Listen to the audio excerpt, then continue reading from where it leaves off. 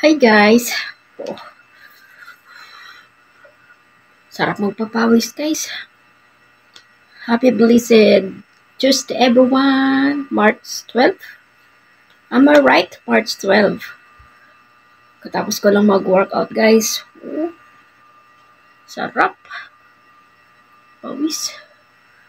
Workout din, workout din sabay TikTok. Sayaw. Woo. Oh.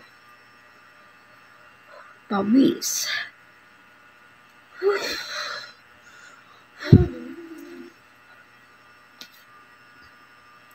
Abangan ang aking mga video-video.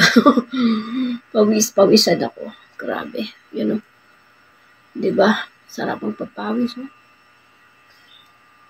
March 12 ba ngayon? Tama, March 12 ba? Oh. Grabe. Hmm? Pawis sa pawis ako guys. Oh. Bye! Ako'y magpupunas at mag bibi- bibihis. Papahinga.